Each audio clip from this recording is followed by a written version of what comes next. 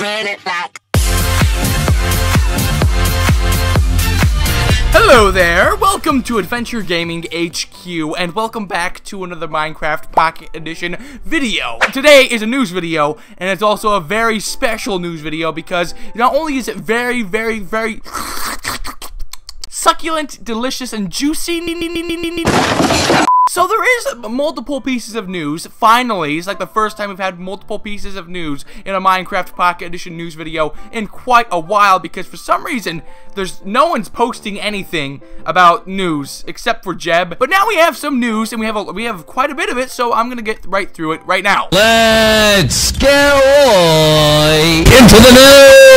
To start off with the big banger, the, the big one, the huge thing that the, the long-haired ginger posted, Jeb posted uh, good Monday, FYI, the long time requested feature to be able to dye your beds is coming to Minecraft 1.12 and MCPE 1.2, 16 colors at the as the norm. Now, you, you may be thinking 1.2 uh, 1.1 is coming up pretty soon. Why can't they add it to 1.1? Well, keep on reading. There's some more. He also says, I have some good news and some bad news. The good news is that it's fine. It's uh, Darn Geek's birthday. Dot dot dot. By the way, uh, I tweeted about Darn Darn Geek's birthday and it's the first thing a developer has ever liked. I've met each of the developers. I've told them all my. Uh, I've told them all everything about my channel. I've done all that.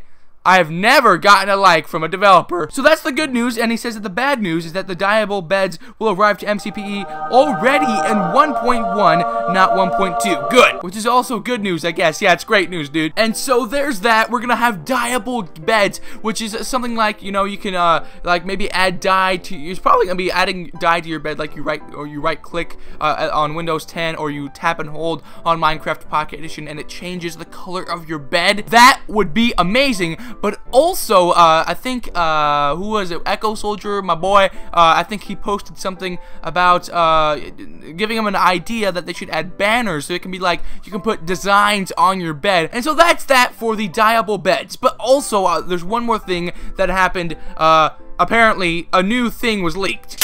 There's a new skin pack coming that's a Power Rangers skin pack.